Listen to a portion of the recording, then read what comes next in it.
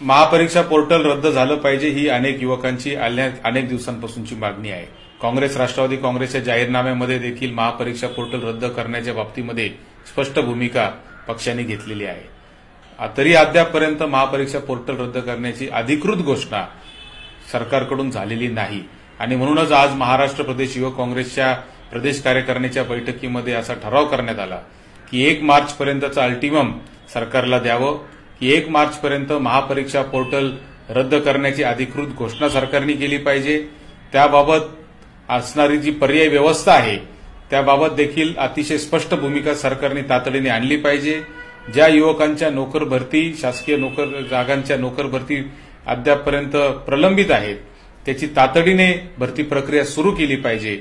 अन्यथा त्या ठिकाणी तीन मार्च रोजी विधान भवनावर युवक काँग्रेसचे कार्यकर्ते मोर्चा काढतील असा पद्धतीचा ठराव आज युवक काँग्रेसच्या बैठकीमध्ये पारित करण्यात आला.